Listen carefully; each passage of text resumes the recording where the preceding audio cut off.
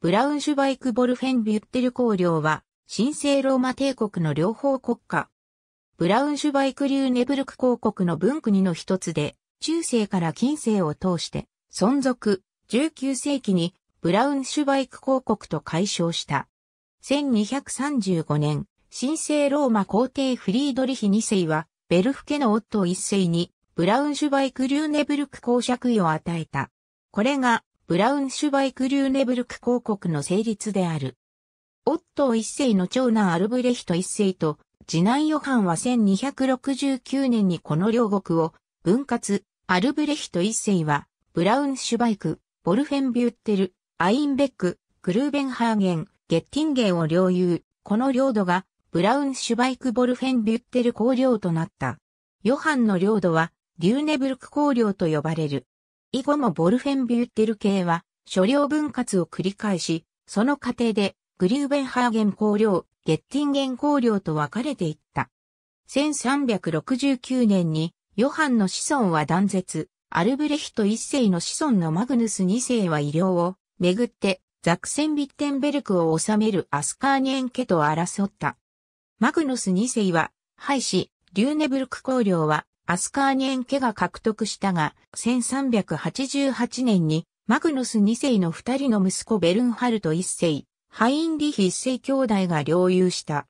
その後二人は領土交換をたびたび行い、結果としてリューネブルクはベルンハルト1世の子孫が、ボルフェンビュッテルはハインリヒ1世の子孫が治めることが決定した。1463年にハインリヒ一世の息子ビルヘルム一世は断絶したゲッテンゲン公領も獲得した。1491年、ビルヘルム一世の息子ビルヘルム二世は、長男のハインリヒ一世に、ボルフェンビュッテルを、次男のエーリヒ一世に、カレンベルクを譲渡した。兄弟はしばらく共同統治していたが、1494年に分割、エーリヒ一世はカレンベルクとゲッティンゲンを統治した。これがカレンベルク公領の成立である。宗教改革の時期に即位したハインリヒ2世は一貫してカトリックであり、神聖ローマ皇帝兼スペインオーカール5世に従軍してプロテスタント諸侯が結成したシュマルカル伝同盟と戦ったが、息子のユリウスはプロテスタントに改宗、次々と改革と文化事業を展開し、1584年に断絶したカレンベルク公領も手に入れた。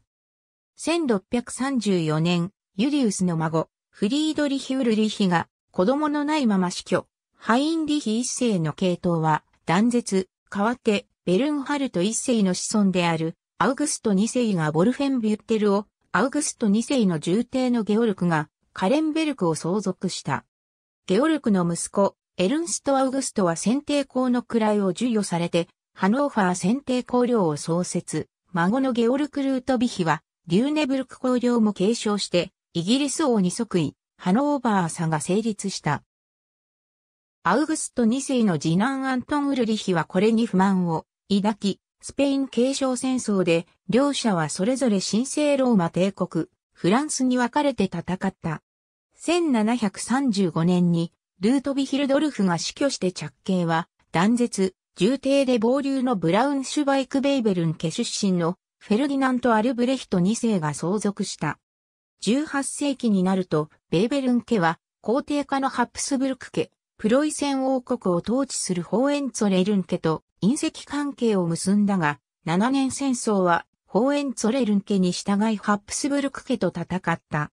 一方でハノーバー朝とも隕石関係を結び、カール・ビルヘルム・フェルディナントは、イギリス王ジョージ3世の姉オーガスタと結婚、アメリカ独立戦争に際して、兵士をイギリスの援軍としてアメリカに派遣した。